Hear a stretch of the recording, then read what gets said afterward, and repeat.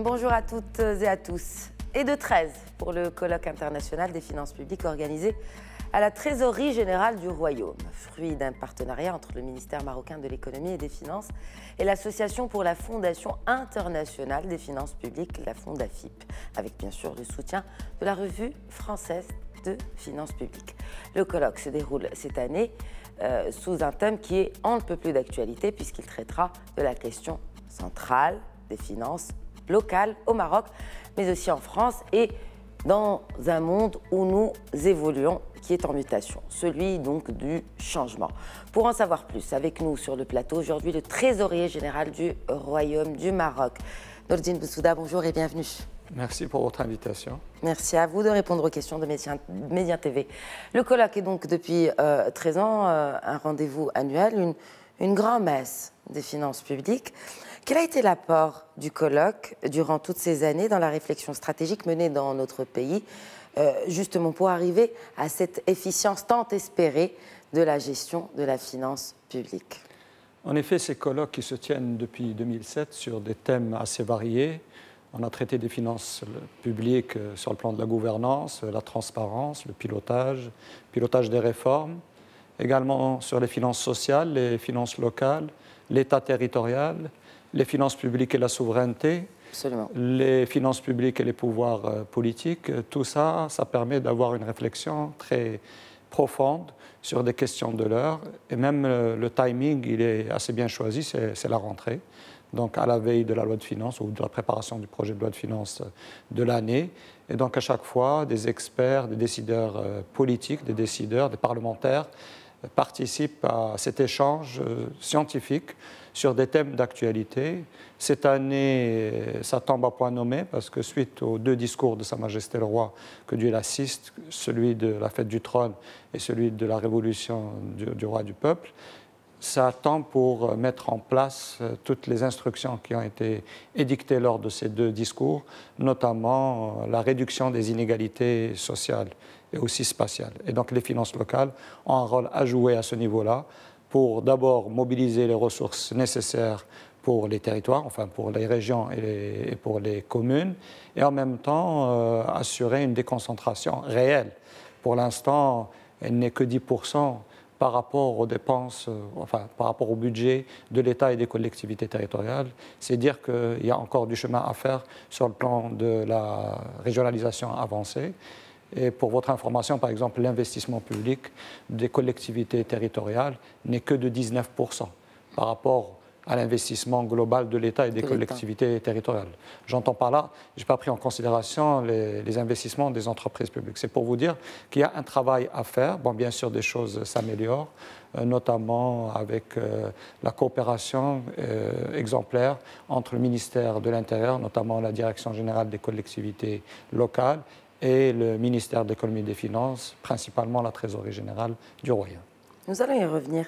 Pourquoi le parallèle avec la France, Notine Bensouda ben, nous avons une coopération assez stratégique et historique mmh. avec la France. Euh, d'abord, il y a une proximité linguistique, euh, proximité par rapport aux réformes que nous menons, mais euh, de temps en temps, nous invitons des, enfin, des personnalités des experts de niveau international, des, institutions financières internationales telles que le Fonds monétaire international. Et cet échange-là nous permet de voir un peu ce qui se pratique c'est un benchmark au niveau international. Et nous essayons d'aller vers euh, des politiques publiques qui mettent euh, en premier ordre la, question du citoyen. Donc, si vous voyez un peu ce qui se passe, euh, la finalité, d'ailleurs, Sa Majesté l'a dit dans son discours, la finalité, c'est le citoyen. Et dans ce cas-là, il faut avoir des services publics de qualité, que ce soit les services publics de l'État ou les services publics assurés par les collectivités territoriales. Très bien. Je voudrais revenir à ce terme que vous avez cité dans votre première réponse, qui est le timing. Le thème choisi cette année donc est très en relation avec les finances locales et donc comment financer un peu ou comment euh, mieux gérer la euh, question locale. Est-il en rapport avec les dernières assises de la fiscalité qui se sont tenues en mai dernier, je le rappelle pour nos téléspectateurs, à Srerat. Bien entendu, euh, quand vous voyez le programme, mhm. la première table ronde, c'est quelle fiscalité locale. Mhm. Et la deuxième, c'est quelle gouvernance des finances locales. Absolument. Et la dernière, euh, quand il n'y a pas suffisamment d'argent, il faut trouver des financements. Et c'est ça, la, dernière table ronde, c'est mhm. sur l'emprunt. Donc euh, la réforme fiscale est nécessaire. Et d'ailleurs, dans ce modèle de développement qui a été, dans Sa Majesté, euh, a demandé à ce qu'il y ait une réflexion profonde, il y a le système fiscal. Et dans le système fiscal, il y a la partie. C'est même la base un peu. il y a la fiscalité locale, donc il faut avoir des ressources. Mm. Et là, ce que nous remarquons, c'est qu'il y a une forte dépendance des finances locales des finances publiques. Très bien. C'est que 88% des finances enfin des ressources fiscales des collectivités territoriales proviennent des finances de l'État et notamment la taxe sur la valeur ajoutée, dont 30% va aux collectivités territoriales, 5% de l'impôt sur les sociétés et 5% de l'impôt sur les revenus. C'est dire qu'il y a une forte présence euh, de l'État dans, le cadre des transferts et des dotations budgétaires.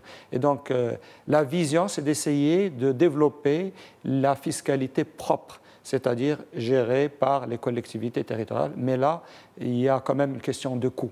Il faudrait aussi réfléchir parce que finalement, c'est le citoyen qui supporte et la pression et le coût de la gestion. Et donc, il faut avoir une vision cohérente de l'ensemble de la fiscalité pour, d'un côté, assurer une bonne répartition des fruits de la croissance. Et c'est l'un des thèmes qui ont été euh, donc, euh, choisis pour, euh, à discuter lors de ce colloque international des, finances publiques qui se oh. tiendra, je le rappelle, cette semaine à, à Rabat. Justement, est-ce que nous sommes au Maroc outillés en compétences locales, qualifiés à même de gérer cette euh, finance locale tant espérée par le citoyen marocain?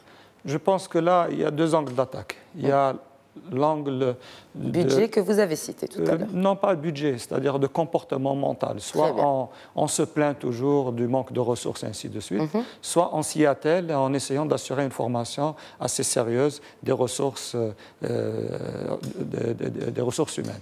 Et c'est justement le travail qui doit être fait par les administrations, par les collectivités territoriales, investir, comme on fait de l'investissement en infrastructure, il faut faire de l'investissement en ressources humaines compétentes et que ce soit le top management, le middle management ou même le, personnel, les agents qui, qui, qui, sont en contact avec le quotidien pour qu'au niveau local, on sente que le discours, au niveau le plus élevé, est bien exécuté dans le contact au quotidien que ce soit avec une collectivité territoriale ou avec une administration. Et c'est pour ça que beaucoup de gens parlent du concept de décommodification, c'est-à-dire du service public non marchand, qui est assuré et qui permet aussi une mobilité sociale. Parce qu'une fois que vous avez des services de qualité, de l'éducation, de la santé, ainsi de suite, et je pense que ce qui se passe aujourd'hui, la conférence sur euh, le, développement humain qui se tient à Srerat, justement traite de ces questions de, de mettre à niveau les informations infrastructures et en même temps de donner de la chance, l'égalité des chances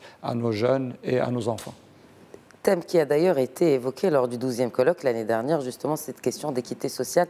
Détrompez-moi si je me trompe, M. En Alors, je, voudrais juste terminer justement par cette question euh, centrale. Donc, il y a un colloque international qui est organisé chaque année à la Trésorerie générale du Royaume. Quel est le rôle de l'institution que vous dirigez dans la mise en place d'une véritable politique fiscale locale, vu que c'est le thème qui a été choisi et arrêté pour cette année Alors nous avons la chance d'être implantés sur tout le territoire national. Hum. Donc nous sommes une administration d'appui à toute la politique gouvernementale, que ce soit pour la question de la déconcentration qui est fondamentale, ou en ce qui concerne la régionalisation.